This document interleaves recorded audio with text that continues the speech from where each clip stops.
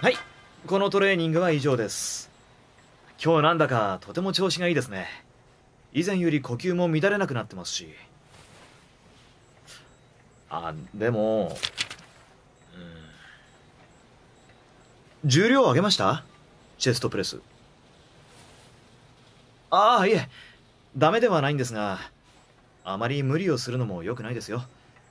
早く体重を落としたくて焦るのも分かりますし筋肉がついて物足りなさを感じることも増えてくるかもしれませんがもう一段階上げるのは燃焼する体をきちんと作ってからの方がいいですから。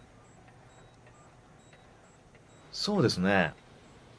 例えば体重に変化が見られなくなった時に重量を変えて様子を見るとか新しくメニューを決めることもありますよ。ですが